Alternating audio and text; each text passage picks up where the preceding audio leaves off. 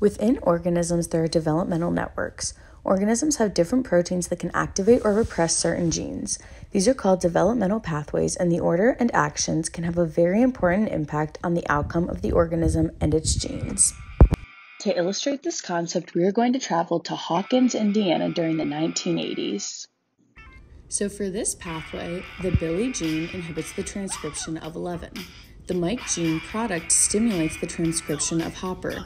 The Hopper gene product inhibits the action of the Billy gene, and if 11 is transcribed, then the Demogorgon is defeated.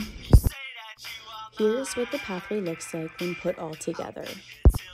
We can look at this pathway closer to see the regulatory relationships between the characters.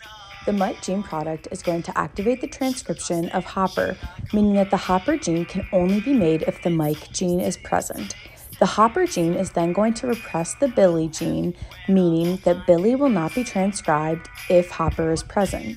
The Billy gene is going to repress the transcription of 11, so if Billy is present, 11 will not be transcribed. Finally, if 11 is transcribed, then the Demogorgon is defeated. So if 11 is not present, then the Demogorgon is not defeated.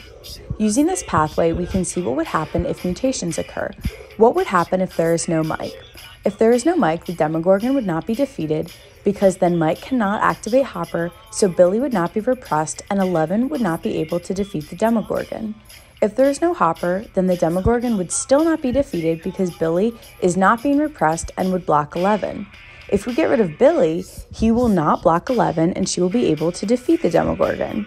There can also be double mutants. So, if we get rid of both Mike and Hopper, 11 would not defeat the Demogorgon because Billy is going to block her still.